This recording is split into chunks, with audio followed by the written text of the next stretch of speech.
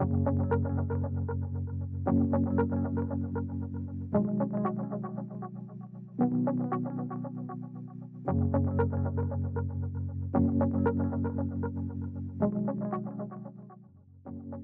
right, now I'm, this is um, Echinacea angustifolia, um, and I am straining, this is a dried root that I used.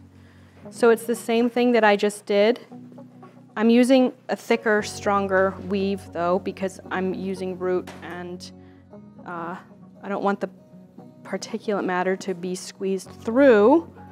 Um, Was it a fresh root or a dried root? it's a dried root, so it's a one to four ratio. What was the second herb? Uh, this one or the this is um, echinacea, angustifolia. I can't squeeze anymore, and I know there's. I mean, you're you're gonna get some out. It's not gonna be ton, but it's the good stuff that's like really. You don't want to lose that. This is alcohol. Mm -hmm. This is a. Can you comment on the different uh, species of of echinacea? I know I have purpurea, I think, in my garden. Yes, that's the easiest one to grow. It's like most forgiving. It's so easy to start from seed, so easy to divide. The, um, I have some that I struggle with. Uh, it's coming back, but it's not like I'm doing it. I probably won't harvest it. I just am doing it. I'm growing it to get to know it because it's not uh, as robust here. Um, it likes to grow Midwest, more in the open plains. But medicinally, are they comparable? Yes. Um, there's um, in Stephen Buhner's book, he kind of breaks down. He's really great because he'll take, for instance, like the echinacea, he'll go through the different, the different species, and then he'll go through like the different skull caps, and um, excuse me, I'm gonna just have to. Uh, you can see this last little bit that's coming out, but it's like the good stuff.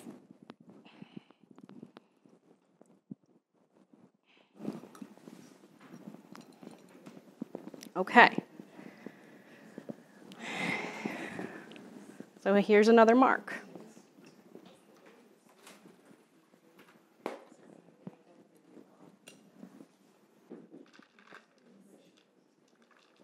How long did that one sit in the alcohol?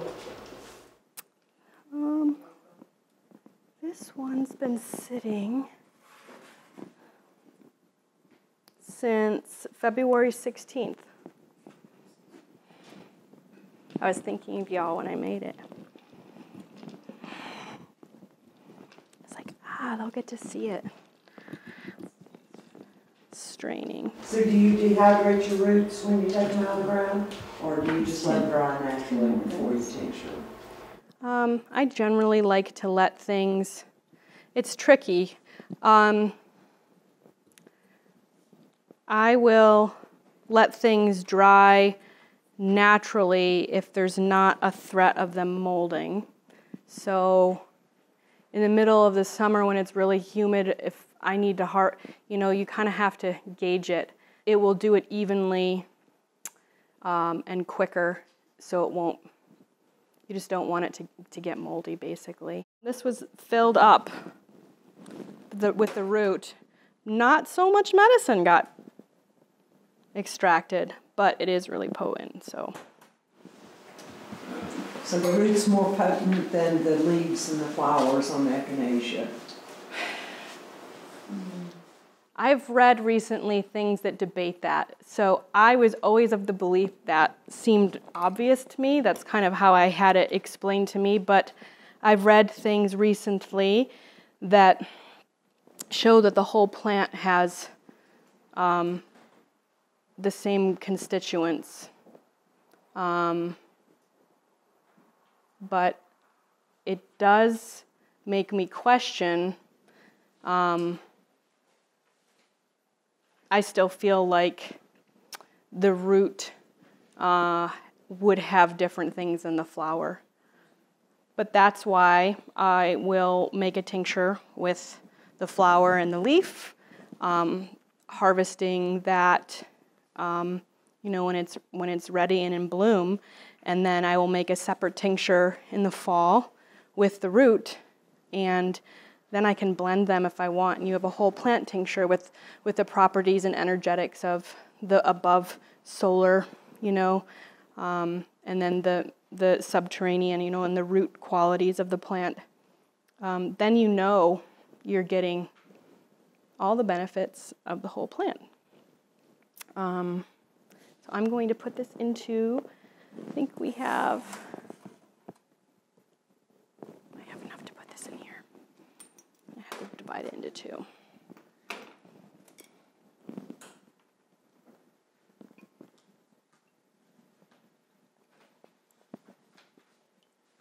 Oops. So I'm just going ahead and putting it in these two, because we only had four ounces, and these are each two. So I am filling up these two. Um,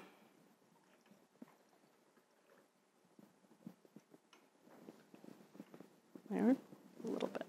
Okay, a little bit left over.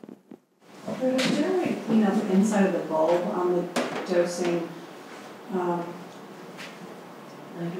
eyedropper? That's a really good question. So, you really, um, so these are rubber. I generally don't like to leave anything in here. I get new ones.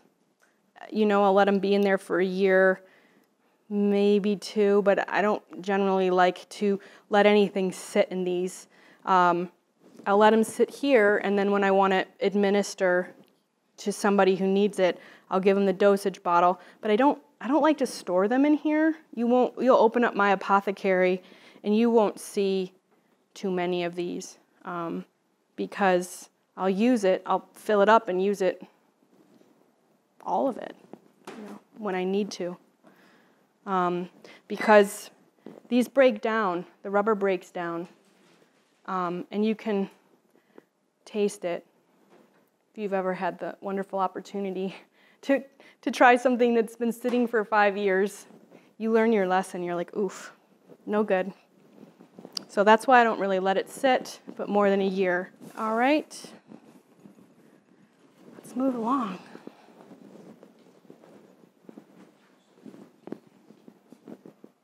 Home apothecary. So I really think it's important for, I get really inspired uh, teaching people about medicine making and growing your own plants because of home apothecary. Um, I think it's really important for people to have that relationship with their with their garden and with the you know the neighborhood in which they live whether they're wildcrafting medicine. And you're really you're forging a connection with nature that is so so essential. Um, and in that there's so much healing.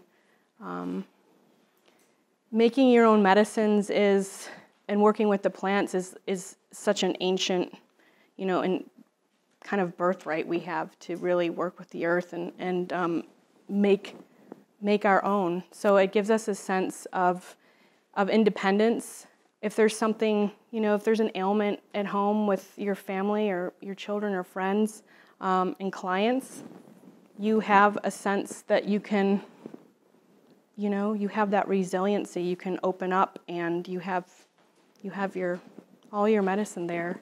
This is a picture of my apothecary at home. Um, yeah. I've got backup. And those are years, years and years of, of you know, connection with a garden, with a place. So it really builds. This is uh, like an ongoing relationship. Medicine making is ongoing. It's it's a it's you know part of the plant path. It's a life path. It's a life study, and it's really um, something that you learn, and you will make mistakes sometimes, but it's um, it's so worth it in the end. There's nothing better than opening up, you know, the the cupboard to this, and uh, having that within your home to really um, nourish and sustain and heal your family. Yes. If you're wanting to make a tincture out of the fruit or the berry of a plant, Yes. how would you do do it differently, or would you do it very similarly to the what you've already spoke of? You would do it. Um, you would treat it as like a fresh herb, um, and um, generally with like roots and barks. Um, also, is another you know reason why you'd want to use a higher alcohol. There's like that density that you need to break through, but the berries also have a lot of water weight. So depending if you were using them fresh or dried, I think um, would determine the type of alcohol. But um, yeah, I don't know if that answers your question. Yeah. Okay. Can you talk on using other medicines other, than alcohol, like using the glycerin or the apple? Yes. Um, so I so it's a good question. So I wanted to make a. It's the same as how I was showing with the folkloric method. This is chickweed, and generally I only consume it fresh, but it's also very good. Um, I have chickweed, and I have stinging nettles. Um, I wanted to say too, you can use other vinegars. Um, they vary in their in their acidity. So the lower the acidity, it's going to be a lower shelf life. And I dried these because I didn't want to dilute the vinegar any more than it needed to. So it would have a longer shelf life. But to tell you the truth, I do. I mean, this is so fantastic. Um, adding it to your water just every day, or adding it to, you know, your dressings for your greens. Um, I, yeah. Um, I basically do the same thing where I just put it into a clean mason jar um, and cover it. And I let it sit for two to four weeks um, in a dark, in the same, um, and you can shake it every day. Um, and that really makes sure, makes sure that the whole plant is being touched. Sometimes um, the alcohol doesn't, you just want to make sure it's flowing around there and like actively pulling it out in all the surface areas of the plant. Put a little bit more here. And if you use the glycerin, do you, Yes. do you add water to it, You or can. or do you use it just? I don't, I just put it on straight. I just do it straight. There's the chickweed. So when you're measuring a fresh herb, do you press it down to get your measure, or you just put it in as it's chopped? Yeah, I mean, th- with the folkloric method, it's just like you're just putting it in, pressing it down, and then you just make sure that you cover it. Um, because I made some with dandelion roots and leaves recently, and I really packed it into the jar, and I, you know, it's like you would do with pickles when you're trying to get it all down, Yeah. or or I mean, making a kimchi. So would you recommend that or not? Well, the, the problem with that, if you pack it in, is that it's hard to shake it. Um, and then you're not sure, like, if it's, you know, um, so you can pack it too hard, so you're not getting enough alcohol around. Yeah, and so that's like, so you can shake it. Um, I probably what I'll do when I when I get home is um, is add a little bit more vinegar. I didn't bring enough. Put the lid on. Boom. So now you have your vinegar tinctures here, uh, and yes. Uh, Most of the uh, mason jars you're using are clear. They do have, I've seen now, Walmart actually has amber colored. Now, could you use amber colored mason jars? Um, I you probably could. I would I would feel more comfortable knowing. Um, I've read on the, some of those mason jars not for food storage, so it would make me skeptical to even put alcohol in that. On you know just in case. Um, clear, you kind of know you're good. Um, and so with the rest of this chamomile, I'm going to um, put glycerin. Um,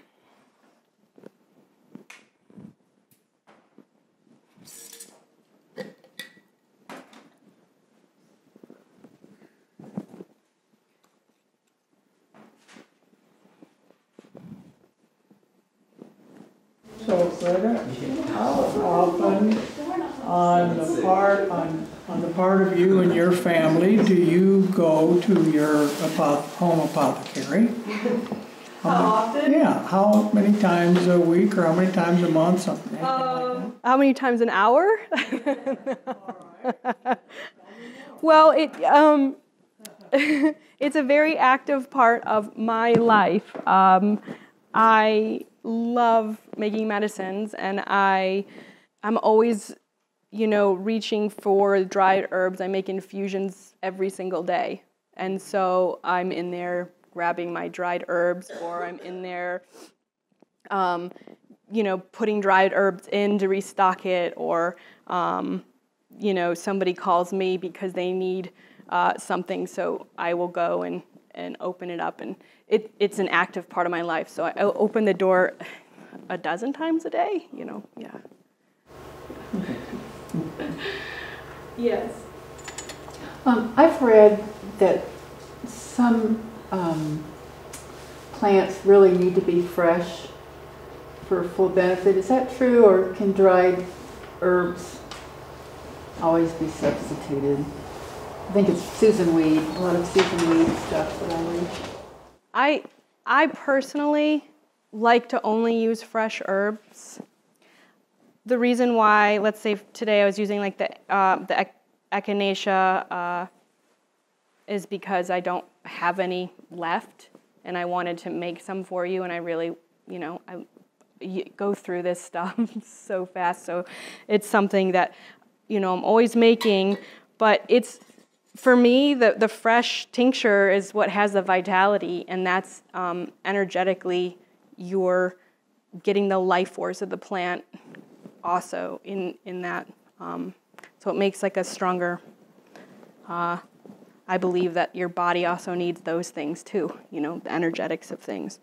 The roots, though, um, I mean, as long as it's, it's like freshly dried, you know, an er, like the, the leaf and stem are freshly dried and it hasn't sat there for two or three years. Um, so harvest it, dry it, and then you need, you know, um, I think that you're getting the benefits, but they go bad. You know, I don't, um, in the spring, I'll open it up and I'm like, I didn't use, I didn't use all this. And, um, but it's kind of, there's more sprouting up in the garden.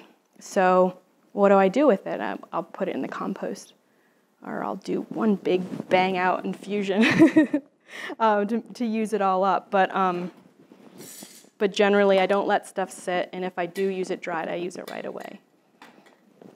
Yes.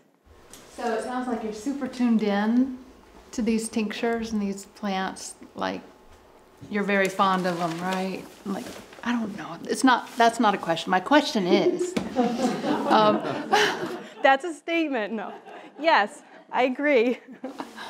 uh, do you do you tinker around with mixing these tinctures with other elements like concentrated trace minerals or anything like that? Or is it just straight? Like, do I add drops, mineral drops? Yes. Yeah, or anything. That's that's my question. That's what I do, but I generally will trust that the minerals that I want are in the plants that I'm using.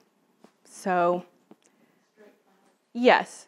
Um, if there's something that I feel like I'm not getting from the plants, I suppose I will go and maybe uh, find other ways, but I really try to use the living, stay as close to the living thing as possible. I feel like the that's most accessible to the body.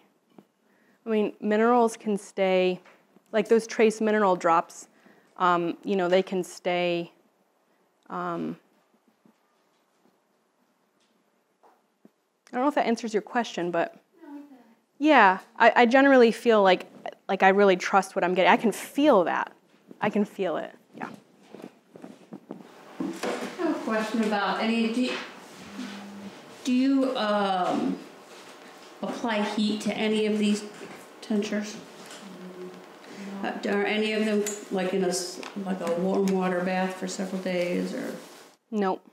Um, in fact, when you store them, if you can store them in a cool place, uh, cool, dark place is the, you know, uh, And I'm talking more like in the, in the making process. no. The only time I ever heat it is if I'm making an infusion or a decoction. Yeah, and uh, you decoct generally, um, you know, the, the harder the roots and the barks, um, and and the dried, you know, the funguses, the mushroom. Um, the water is really an excellent solvent to help pull those out, um, like the, the polysaccharides that are in the mushrooms that alcohol isn't so great at, at doing. So you get to know your plants and the ones that you work with and what you want to pull out with, with different ones. Yeah. The question was asked about berries. What about if you were trying to make a black elderberry syrup? Yum, yum. Um, that's a good question. It's one of my favorite uh, uh, things to make, and I usually um, do a what's called a triple extraction because the alcohol will pull something out of the berry and the water will pull another thing out of the berry. And then um, i use a, a honey uh, extraction as well. Does it need to be refrigerated? The elderberry syrup it's um, if it's if it lasts that long in your house it's so delicious and it really works so wonderful that uh, i have found my own experience i never can make enough.